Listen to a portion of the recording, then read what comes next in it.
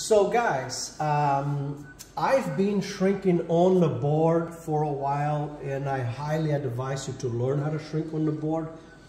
Nothing wrong with shrinking on the car, but things can go wrong. You could burn this thing. There could be a little contamination there that could transfer to the film. So there is a bunch of reasons that I prefer to shrink on the board, and it's very simple. I could shrink both of them, but I'm going to shrink just one of them at a time so that you guys can see it. So I am going to separate them over here.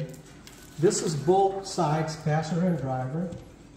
And now what I'm going to do is I'm going to get my heat gun. I don't want to blow air in there. I want to blow hot air in there. Because mm -hmm. I don't want the film to come off the board. I want the film to shrink. So here's what I'm going to do.